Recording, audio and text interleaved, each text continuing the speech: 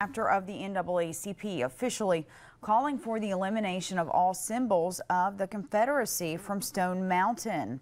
This comes on the heels of the removal of the Confederate battle flag from the South Carolina State House. The organization issued a statement calling for the removal of all symbols of the Confederacy from this park.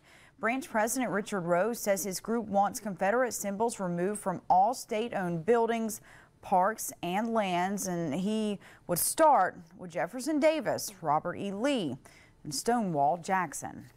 Those guys need to go. They can be sandblasted off, or they can, somebody can carefully remove a slab of that and auction off to the highest bidder. And a spokesman for Stone Mountain Park says any removal of the Confederate flags or monuments is up to the Georgia legislature.